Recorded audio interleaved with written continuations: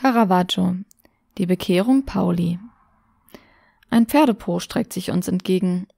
Anmutig ist er nicht unbedingt.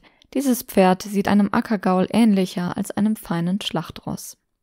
Das Licht, welches von rechts oben auf die Szene fällt, erhält neben dem Tier auch den zum Boden gestürzten jungen Mann, der wie ein Käfer Arme und Beine von sich streckt. Die Augen hat er geschlossen. Er scheint von einer inneren Bewegung erfüllt zu sein. Ein weiterer älterer Mann, ein Knecht, ist oben rechts zu sehen. Er kümmert sich um das Zaumzeug und hat nichts von der vorderen Szene mitbekommen. Zu sehen ist das sogenannte Damaskus-Erlebnis des Saulus. Saulus von Tarsus war der Sohn eines Pharisäers. Er war ein gewaltsamer Verfolger der frühen Christen. Auf seiner Reise nach Damaskus erschien ein Licht am Himmel, und er hörte die Worte Saul, Saul, warum verfolgst du mich? Das Licht streckte Saulus nieder. Auf seine Frage, wer zu ihm spreche, offenbarte sich die Stimme als Jesus. Auf dieses Erlebnis hin erblindete er für drei Tage. Danach war er bekehrt und nannte sich von nun an Paulus. Als Paulus wurde er zum Förderer der Christusgemeinde.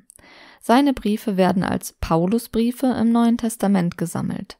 Sie entstammen einer Zeit aus 48 bis 61 nach Christus und sind damit die ältesten erhaltenen Werke des Urchristentums.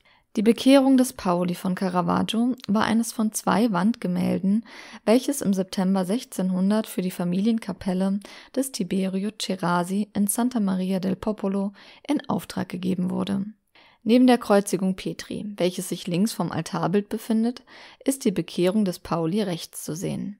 Das Altarbild in der Mitte stammt von Annibale Carracci. Diese Anordnung wurde offenbar von Caravaggio bedacht, da er den Lichteinfall der beiden Werke anpasste. Bis heute, und dies ist eine Seltenheit, befinden sich beide Werke noch in eben dieser Kapelle und damit am originalen Ort ihrer Entstehung. Eine erste Version des Themas, welche vorerst auf Holz ausgeführt wurde, wurde aus unbekannten Gründen abgelehnt.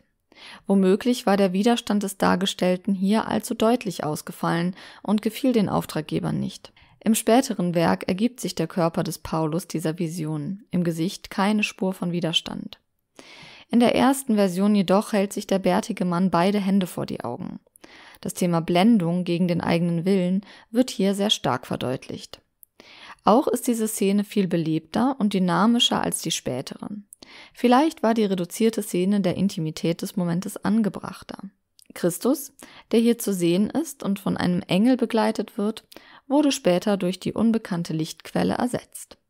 Hier ist die Anwesenheit Gottes nur noch symbolisch. Auch wurde aus dem alten, bärtigen Saulus ein junger, kräftiger Mann. Die Verkürzung des Körpers in den Bildraum hinein machen zudem Caravaggios Können deutlich. Das Pferd in beiden Szenen ist eine Hinzufügung des Künstlers und wird nicht in der Bibel erwähnt. Caravaggio ist nicht der Erste, der diese Szene durch das Tier belebt. Dies hatte sich schon früh in der Kunst durchgesetzt. Der Sturz in der Bibel wird zum Sturz vom Pferd in der Kunst. Bereits Parmigianino hatte das Damaskus-Erlebnis auf diese Weise dargestellt. Hier wird viel stärker suggeriert, dass das Pferd sich erhoben hat und den Reiter abgeworfen hatte. Bei Caravaggio spricht einiges dagegen. Hier steht das Pferd ganz still, hebt nur behutsam einen Huf. Auch ist es noch nicht gesattelt. Der erhobene Huf zeigt auch die absolute Ergebenheit und Hilflosigkeit des Paulus am Boden.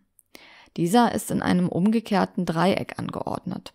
Dies ist einerseits sehr instabil, symbolisiert andererseits aber die Öffnung des Körpers und das Empfangen der göttlichen Botschaft. Die Blindheit in dieser Episode wird auch als geistige Blindheit gedeutet, also die Unfähigkeit, Gott zu erkennen. Auch die Verlegung der Szene in einen intimen Rahmen, vermutlich einen Stall und somit einen Innenraum, ist nahezu singulär. Meist spielt sich die Szene auf der Reise ab, inmitten von vielen Begleitern in der Landschaft, wie in der ersten Version. Saulus ist als Verfolger meist bewaffnet und führt ein Schwert mit sich, welches zu seinem Attribut werden wird. Dies allerdings als Märtyrerwerkzeug, denn Paulus wird später von Nero hingerichtet. Auch der rote Mantel, auf dem Paulus liegt, ist ein Attribut. Hier ist dieser ausgebreitet und bildet zum Grün der Rüstung einen Komplementärkontrast. Die Waffe hingegen ist neben ihm zu Boden gefallen. Stattdessen führt der Knecht unbewusst den Pferdekopf zur rechten Hand, zu einem treuen Begleiter für den weiteren Weg.